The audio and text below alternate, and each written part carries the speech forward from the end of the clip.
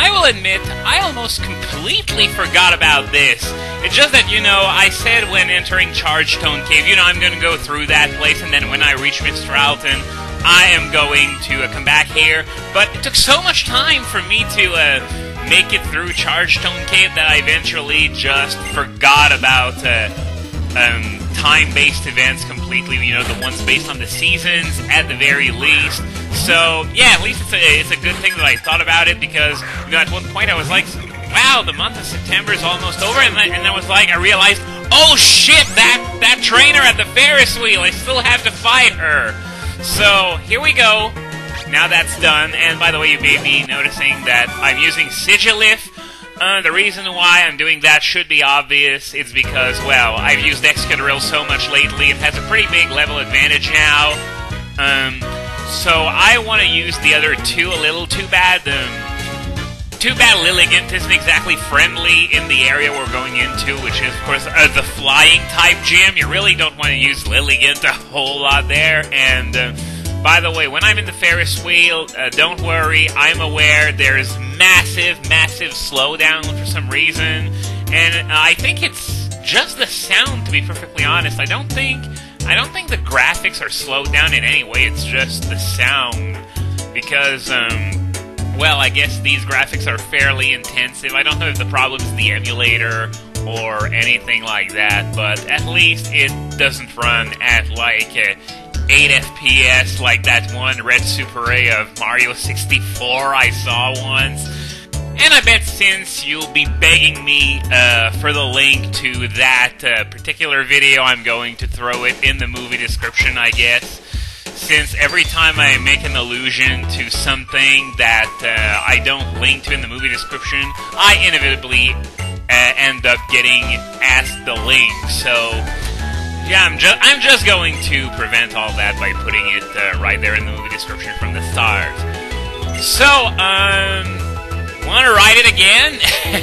I thought you were afraid of heights, young lady. Anyway, now we can head back to Mistralton and take on the Mile High Club.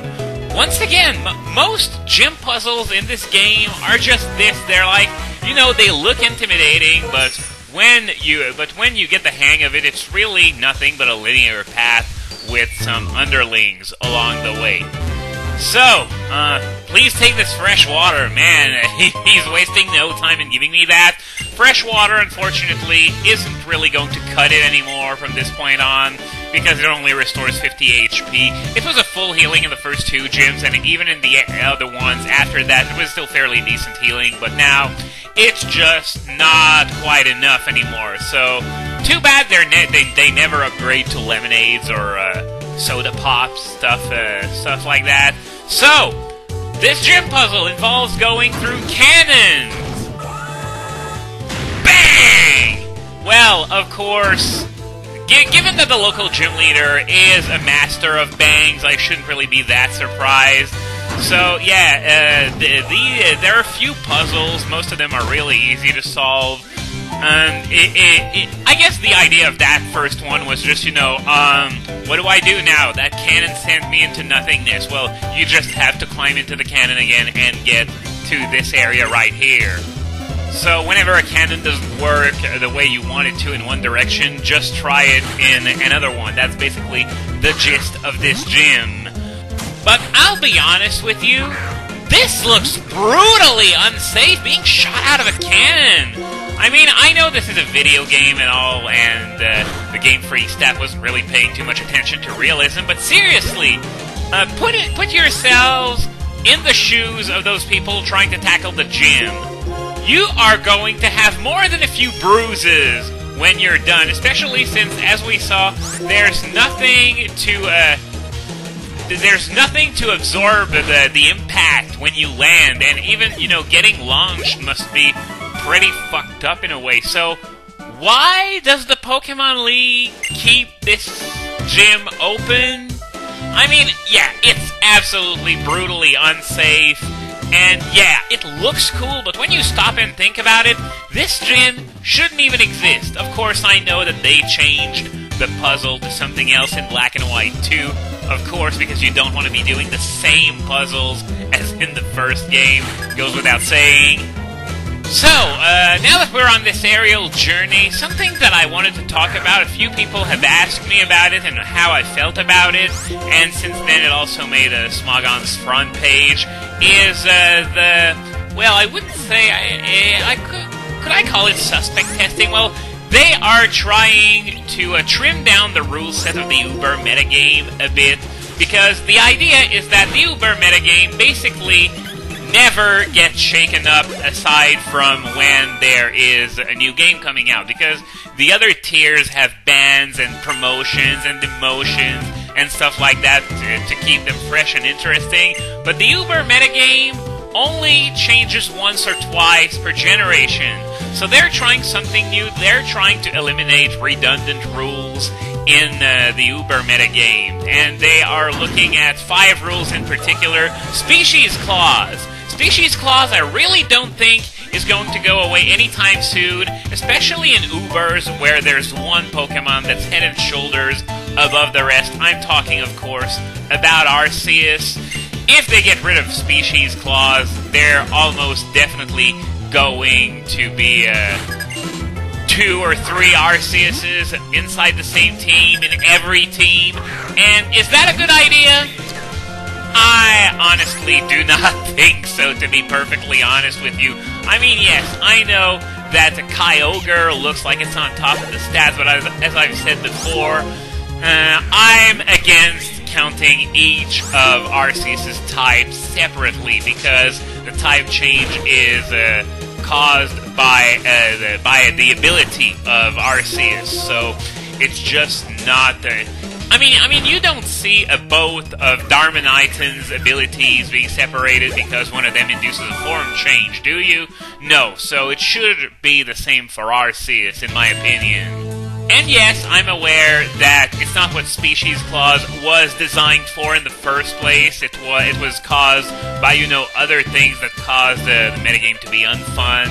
Species Clause, which has which has been around since uh, the first generation uh, when people learned how to abuse the fact that it's not there for for uh, purposes that aren't very entertaining, to be perfectly honest with you. Sleep Clause, I don't think is going to go away anytime soon either, because, well, there's one Pokemon in Ubers that's really a threat because of its uh, sleeping ability, and it's, of course, Darkrai.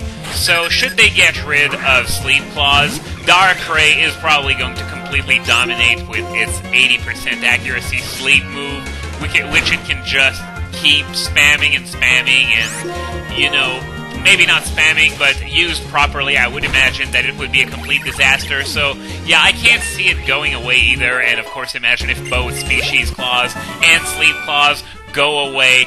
Every team is going to be three Arceuses and three Darkrais. Just wonderful. So, uh, but then again, what do I know? Maybe they're going to find that uh, it's actually not that bad. It's not as bad as it would be in theory, but um, still, those are my expectations. I could be completely far off. Uh, one hit KO clause, an evasion clause. are you kidding me? Can you possibly imagine Smogon getting rid of rules that are meant to reduce the element of luck?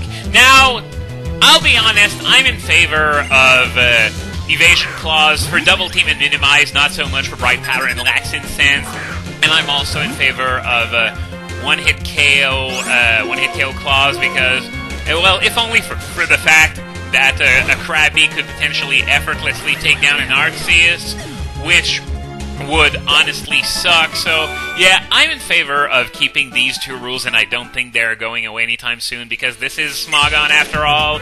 And the ban on Moody, which also applied in Ubers, well, that is the one rule that I could potentially see go away because since there are no Ubers with Moody, uh, it's uh, the impact of such a ban would be much less than uh, in overuse. So Ow! Right in the freaking wall! See what I was saying about this whole thing being unsafe?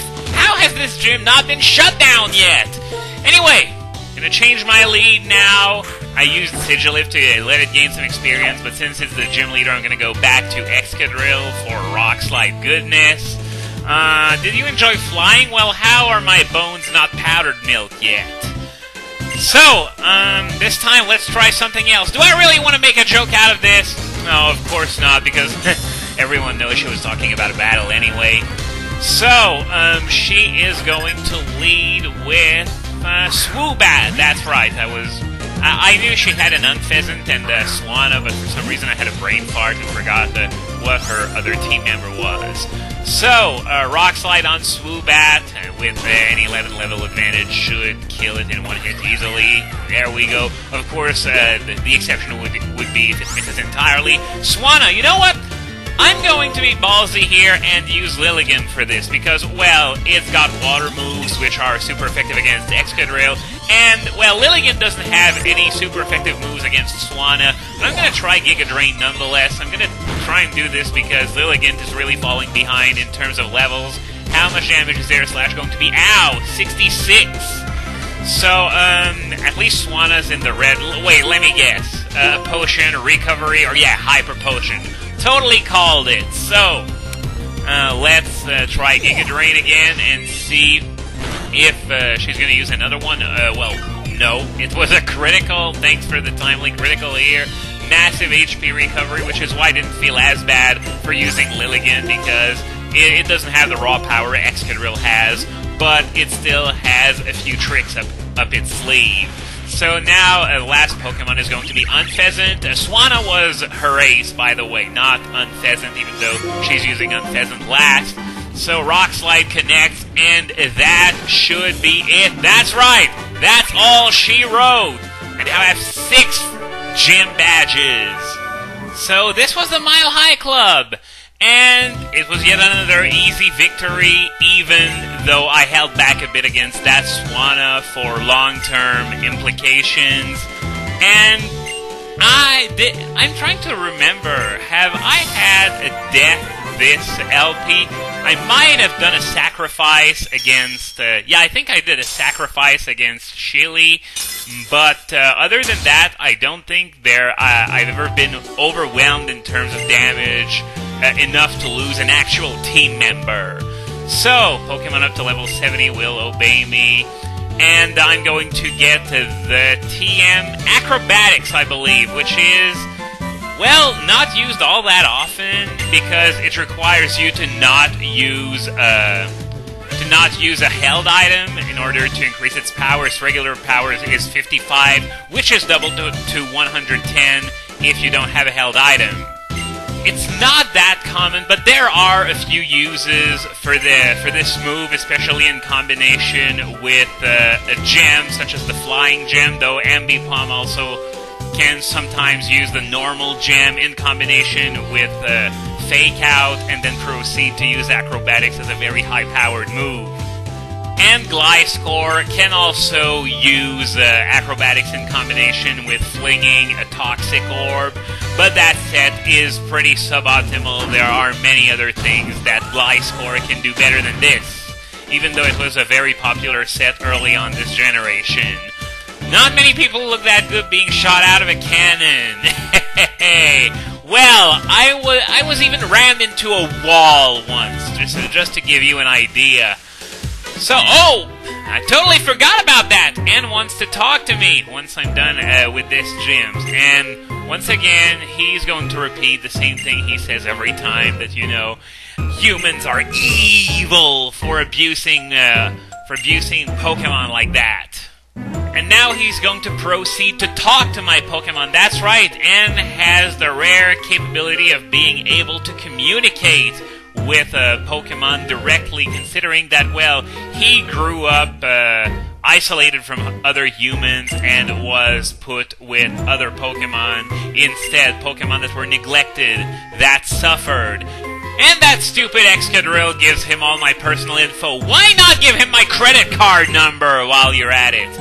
So, uh, N is going to realize that I and my Excadrill trust each other, and uh, this is where you can see that uh, his uh, inflexibility about how all Pokemon are good and all humans are, in- are inherently evil uh, is is starting to fade away, and uh, he's still talking, and I'm running out of time. So I guess we're going to uh, keep the rest of that riveting conversation for next time.